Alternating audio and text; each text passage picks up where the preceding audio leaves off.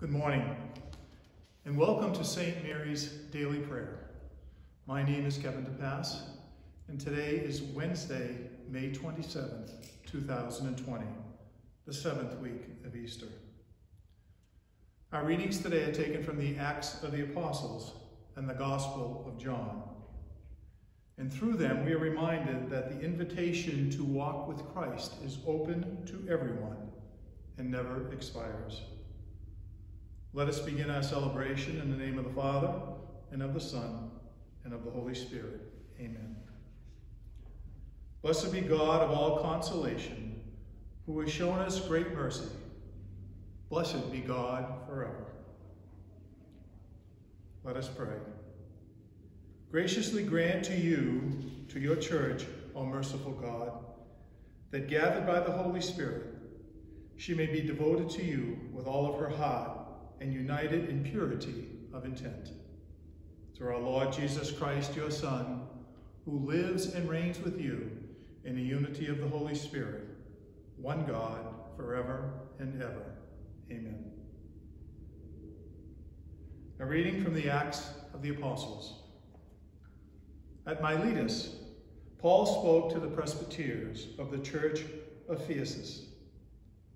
Keep watch over yourselves and over the whole flock, of which the Holy Spirit has appointed you overseers, in which you tend the church of God that he acquired with his own blood.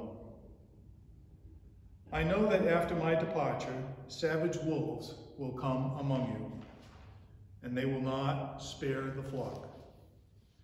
And from your own group, men will come forward perverting the truth to draw the disciples away from them. So be vigilant and remember for three years, night and day, I unceasingly admonished each of you with tears. And now I commend you to God and to that gracious word of his that can build you up and give you the inheritance among all who are consecrated. I have never wanted anyone's silver or gold or clothing. You know well that these very hands have served my needs and my companions. In every way I have shown you that by hard work of that sort, we must help the weak. And keep in the mind the words of the Lord Jesus, who himself said, It is more blessed to give than to receive. When he had finished speaking, he knelt down and prayed with them all. They were all weeping loudly as they threw their arms around Paul and kissed him.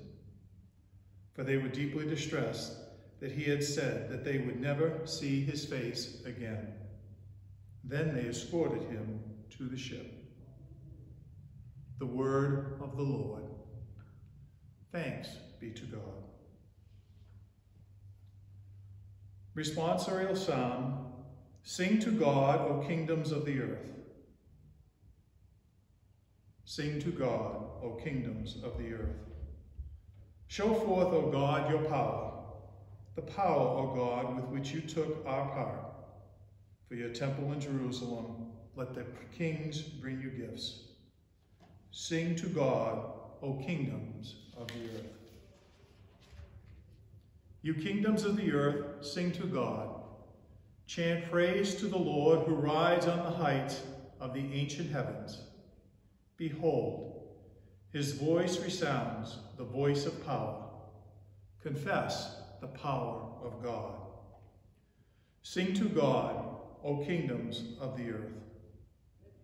Over Israel is his majesty. His power is in the skies. Awesome in his sanctuary is God, the God of Israel. He gives power and strength to his people. Sing to God, O kingdoms of the earth.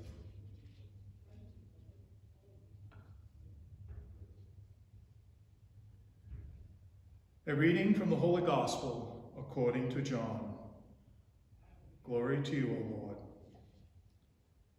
Lifting up his eyes to the heaven, Jesus prayed, saying, Holy Father, keep them in your name that you have given me, so that they may be one just as we are one.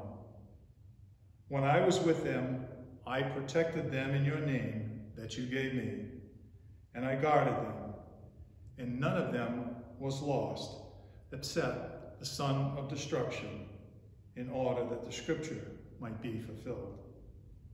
But now I am coming to you. I speak this in the world, so that they may share my joy completely. I gave them your word, and the world hated them, because they did not belong to the world any more than I belong to the world. I do not ask that you take them out of the world, but that you keep them from the evil one. They do not belong to the world any more than I belong to the world. Consecrate them in the truth. Your word is the truth. As you sent me into the world, so I sent them into the world. And I consecrated myself for them, so that they also may, may be consecrated in the truth. The gospel of the Lord. Praise to you, Lord Jesus Christ.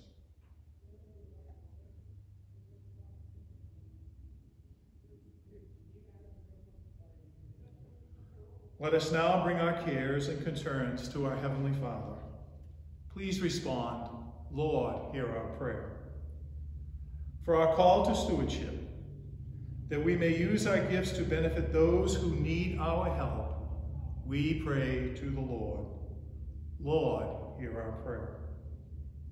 For an end to the pandemic, that God will guide and inspire all the scientists, medical researchers working for a cure to curtail the virus, we pray to the Lord. Lord, hear our prayer. For those who are in any way burdened by this pandemic, that the sick, the unemployed, the lonely, and the frontline and essential workers may find comfort, we pray to the Lord. Lord, hear our prayer.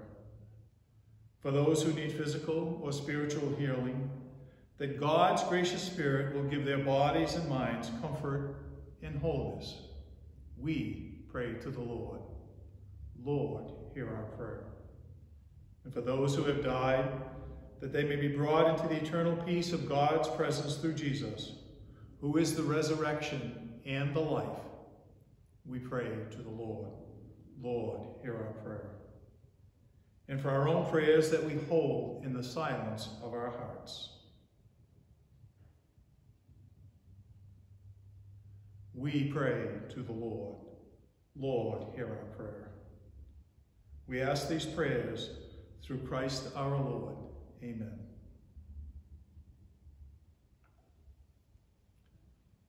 Let us now pray in confidence to the Father in the words the Savior gave us. Our Father, who art in heaven, hallowed be thy name. Thy kingdom come, thy will be done on earth as it is in heaven. Give us this day our daily bread, and forgive us our trespasses, as we forgive those who trespass against us. And lead us not into temptation, but deliver us from evil. Amen.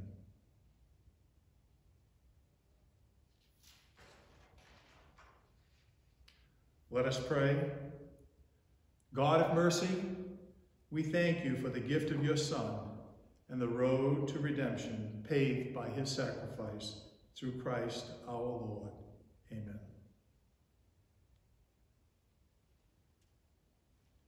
And may the Lord bless you, protect us from all evil, and bring us to everlasting life. Amen. Go in peace.